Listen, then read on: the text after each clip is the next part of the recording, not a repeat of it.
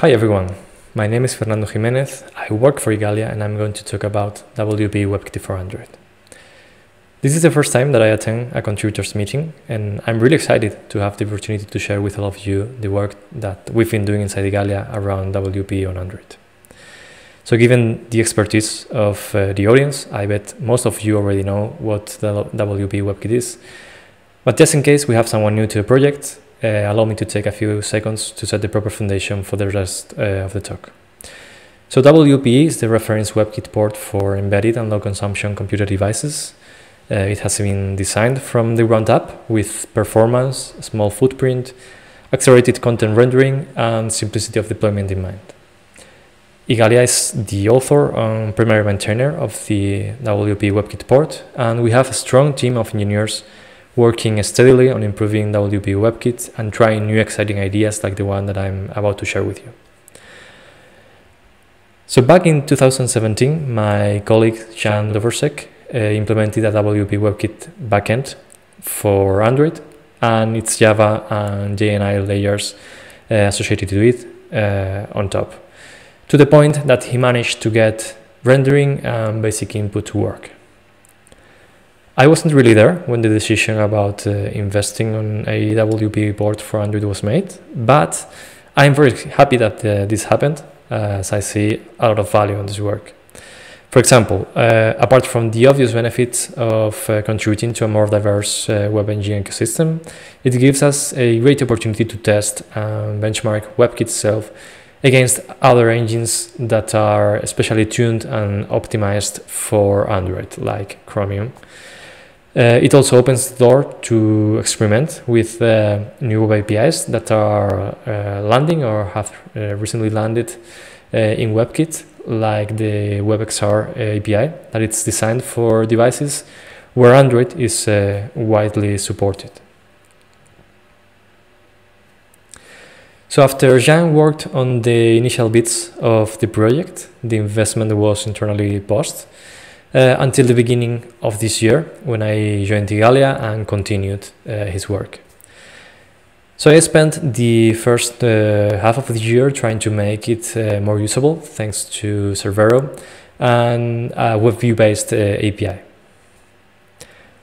And before diving into the details of the implementation itself, I would like to show how it currently looks so you get an idea of uh, what uh, we've been working on.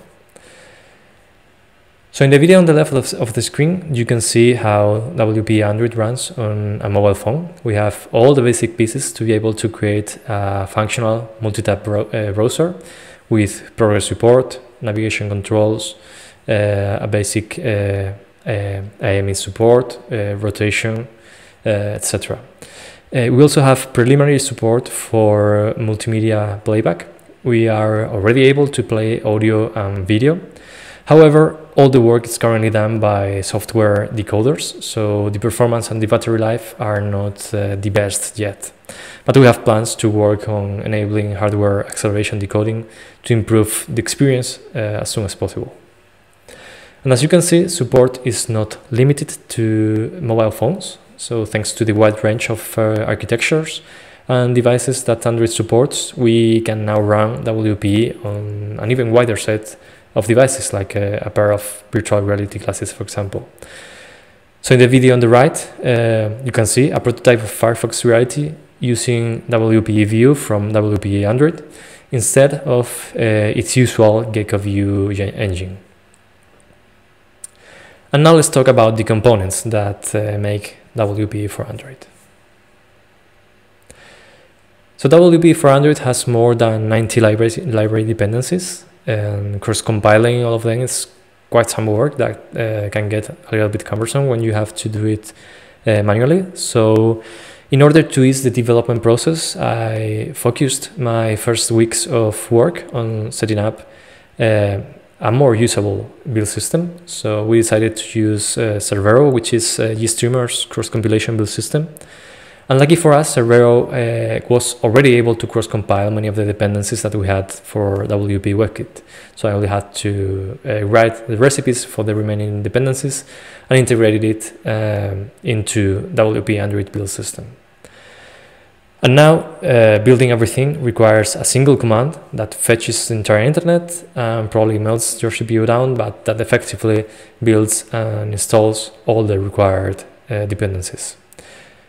We have a few patches that we need to apply to WebKit during the build, and some of them should be eventually contributed uh, upstream to WebKit, although others are simple uh, temporary hacks to do things like uh, disabling uh, PSON, which is unfortunately, currently required in Android in WPE for Android. Um, we're also expect, expecting to eventually contribute the changes that we made to Cerbero to GStreamer uh, because it will be useful not only for WPE for Android but also for consumers of the GST WP web uh, plugin. Uh, the next piece of the puzzle is the WPE View API. And this API uh, grabs um, the WPE WebKit browser in a reusable Android API, and it serves a similar purpose to Android's built-in WebView. It tries to mimic um, its API, and it aims to be an easy-to-use drop-in replacement with uh, the possibility of extending its functionality in the future if that's uh, required. And this API is uh, pretty minimal for now. It exposes methods to load uh, URLs, navigate, and get information about the load status and content, uh, such as the title or the URL. And the plan is to add more methods to the API as we evolve uh, WPE for Android. So setting up WPE View in your Android applica application is uh, fairly simple. Uh, it requires mostly uh, adding the WPE view widget to your activity layout and writing your um, activity implementation to make use of the API. For example, to load um, an URL like you can see on the snippet on, uh, on the screen. And as uh, you probably know, WebKit uses a multi-process model that uh, ensures responsiveness and tries to improve security in cases uh, where the user loads a web page that um, infinite loops or otherwise hangs or tries to do nasty things. And web pages are loaded in its own web process while multiple web processes share a common network process that um, is responsible for storage and network uh, access. But given that Android uh, forbids the fork system call uh, on non-rooted devices, we cannot really directly span these uh, child processes. Uh, and instead, uh, what we do is we use Android services to host uh, the logic of WebKit's auxiliary process. so the lifecycle of WebKits of this WebKit auxiliary processes is still managed by WebKit, uh, and the Android layer uh, only acts uh, as a proxy of the requests coming from WebKit to spawn and terminate these services.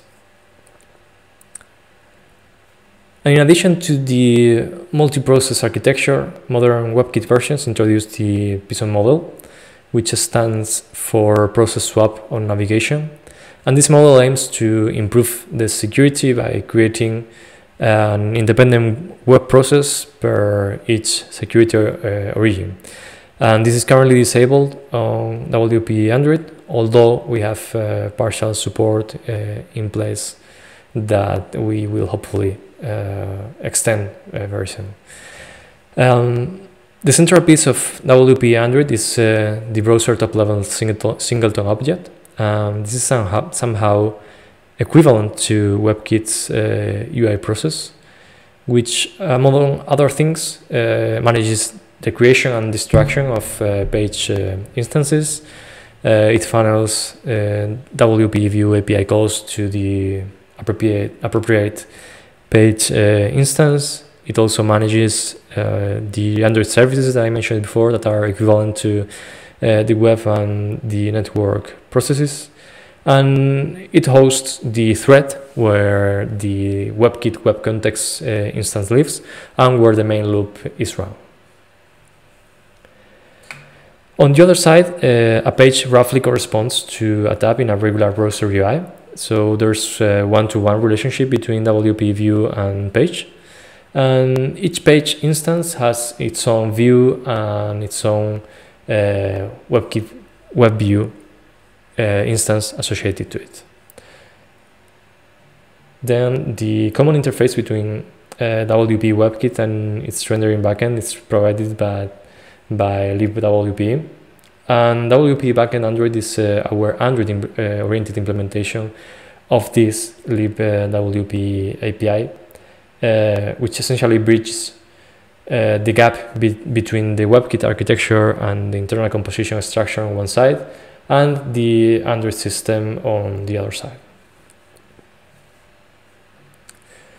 And finally, for the graphics part, uh, we recently recently improved the rendering pipeline, moving uh, to a model where we make uh, WPE backend Android generate Android native uh, hardware buffers that um, are handled by uh, adaptable renderers on the Java side.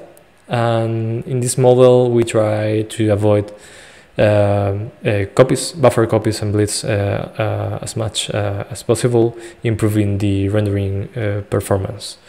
Uh, so for every exported uh, native hardware buffer, the buffer gets uh, resampled uh, via EGL into the native window that uh, is uh, associated with a surface of an Android surface view. We still keep the previous model as a fallback for platforms where native hardware, hardware buffers are not uh, avail available, like uh, any platform that uh, mm, that hasn't support only for the Android API level uh, 26, which is uh, Android Oreo. And there's still a lot of work to do. So, for example, as mentioned at uh, the beginning of the talk, we have plans to add hardware acceleration support to for video playback. Um, we also want to support the PSON model as soon as possible. Uh, that is a very important piece uh, at the moment because, for uh, for example, we don't have a way to spawn new web processes that Android uh, when Android decides to kill one of the background services that uh, we use to implement the web process functionality. So when that happens, the functionality is completely gone and we have no way to recover the uh, from it. And unfortunately, the cases where Android kills these services, it's um, too common uh, uh, in order to avoid out of memory situations. We only uh, currently support ARM64 uh, but we need to support ARM v7 and x86 if we want to cover as much Android devices as possible. Emulator support is also pending. There are currently some EGL emulation issues that we need to investigate in order to fix that. Uh, also, packaging and distribution is something that we need to look into. We are currently able to generate APKs for the mini browser uh, application, but at some point we need to generate some sort of distributable uh, AR package for Android developers to use um, our WPE View API in a more familiar way for Android developers. Uh, we also need to spend some time on performance and stability improvements. So, for example, uh, pinch to zoom uh, does not currently perform as good as we liked. And we observed uh, eventual crashes and hangs that uh, we'll still need to investigate. And basically, there's a big list of uh, issues and pending tasks uh, that you can check on the main repo, repo uh, at GitHub. I also encourage you to give it a try. We generated an APK for people to test uh, and we uploaded it to that URL that you can see on the screen. There's also this QR code that you can scan to get uh, the URL easily. And if you want, you can also look into the main repo about how to build the entire set of dependencies along with the Java and the JNI layer, just in case you want to hack uh, on WPE WebKit for Android itself. And that's everything. Thank you very much uh, for listening. And if you happen to have uh, any question, I will be happy to answer it uh, right now, or maybe uh, by email. You can write me uh, a line uh, to that email that you can see on the screen, and I will happily answer your questions if I can. Thank you very much.